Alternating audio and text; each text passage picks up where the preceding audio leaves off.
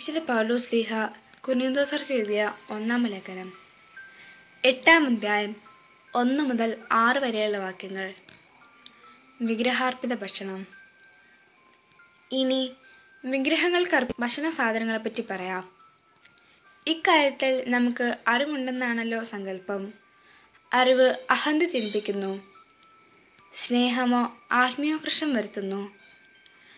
അറിവുണ്ടെന്ന് ഭാവിക്കുന്നവർ അറിയേണ്ടതിന് അറിയേണ്ടത് അറിയുന്നില്ല. എന്നാൽ ദൈവം തന്നെ സ്നേഹിക്കുന്നവനെ അംഗീകരിക്കുന്നു.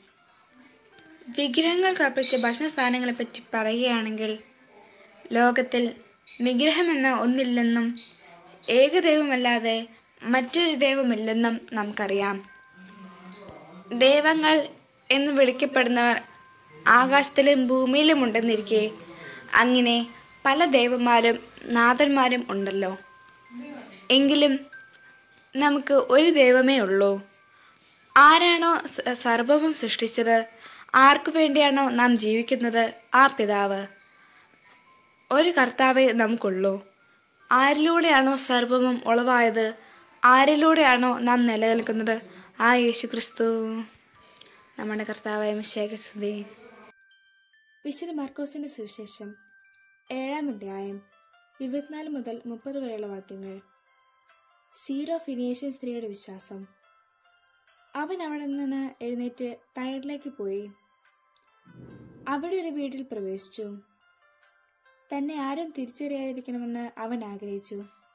എങ്കിലും അവന് മറിഞ്ഞിരിക്കാൻ കഴിഞ്ഞില്ല. ഒരു സ്ത്രീ അവനെക്കുറിച്ച് കേട്ട് അവിടെ എത്തി.